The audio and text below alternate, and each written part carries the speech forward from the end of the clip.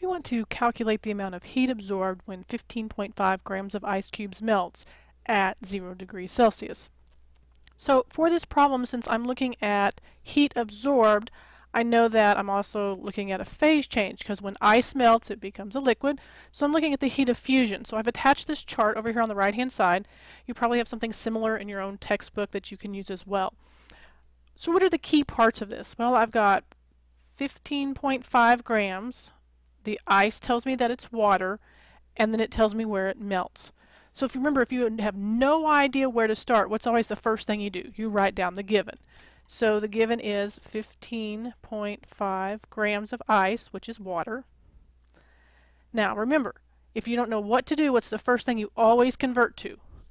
Moles. So in one mole of H2O is how much? How much does that weigh? Well, we go to the periodic table and we find 18.02 grams of water. Now has that have we made any progress? Well sure, because now the grams cancel, so I'm left with moles.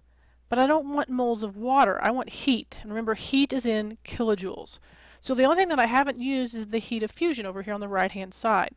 Now I want it for water, so I see that it's this number here, this 6.02 kilojoules per mole.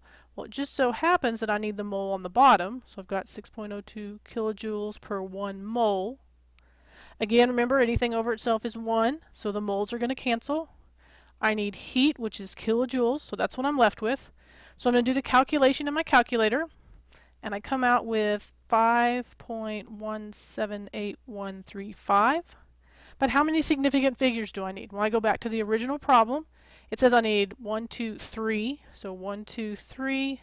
I look at the number to the right. It tells me I'm going to round up, so my answer should be 5.18 kilojoules.